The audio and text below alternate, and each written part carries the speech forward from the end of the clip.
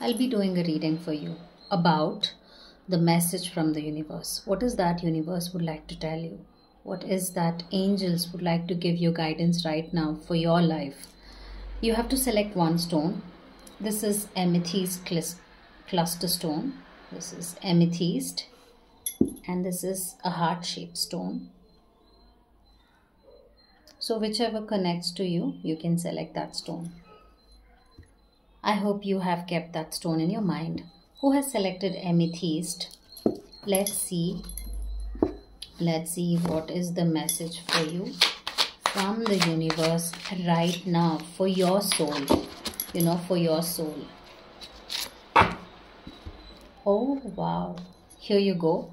You have received the message uh, clear out the debris. Clear out the debris means declutter your mental blocks, whatever you have right now. Today's lesson is engage in psychic cleansing. How much debris do you carry in your energy field? Debris is generated by irritation, stress, unfinished business, and mental and emotional toxins. It's distracting and disempowering to the healing process. So, your goal is to release unnecessary thoughts and emotions.